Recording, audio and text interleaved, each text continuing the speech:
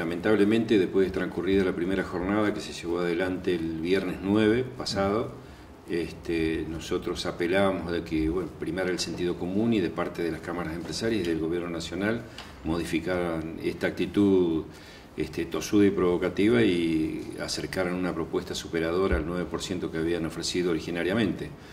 Eh, no ha sucedido eso, eh, a pesar de que desde nuestra organización el compañero Sergio Palazzo ha manifestado públicamente en distintas oportunidades de que nosotros nos encontramos abiertos y disponibles para cualquier tipo de, conversación y diálogo que modificara esta, situación.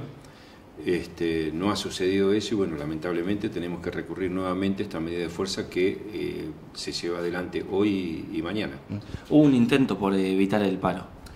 Sí, en conversaciones informales que hubo con eh, distintos representantes de las cámaras empresarias, los banqueros, este, se les transmitió que eh, si se insistía con este 9% se podría tomar como un pago cuenta, como se ha hecho en anteriores oportunidades, en años anteriores, un pago cuenta por los primeros meses del año, enero, febrero y marzo, y ya en el mes de marzo con una perspectiva más clara y cierta de eh, cómo va a discurrir la, eh, la, economía de nuestro país, sentarse nuevamente los paritarios a fijar el incremento salarial del año 2018.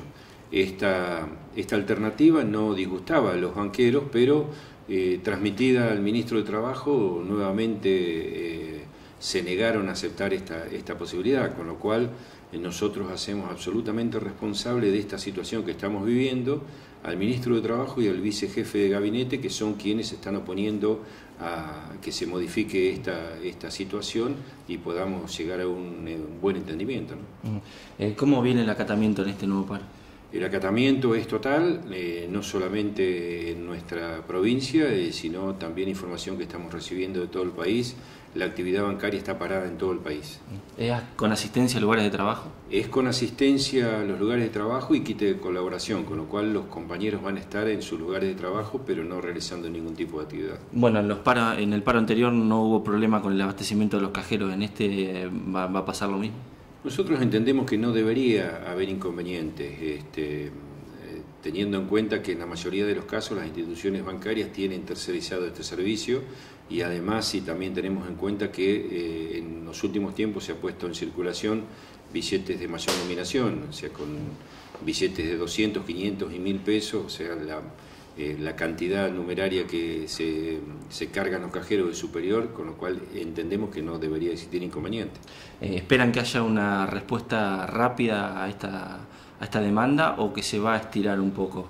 Nosotros apelamos, y como decía anteriormente, apelamos a que prime el sentido común y que nos sentemos en una mesa de discusión y de diálogo con propuestas eh, serias a nuestras pretensiones. Nosotros nos basamos en, las cifras incluso oficiales que publica el Banco Central, que da cuenta de una inflación estimada para el año 2018 eh, del 19,4, 19,8. Y si tenemos en cuenta que la rentabilidad del sistema financiero supera ampliamente este porcentaje, creo que no es descabellado nuestra pretensión. ¿no?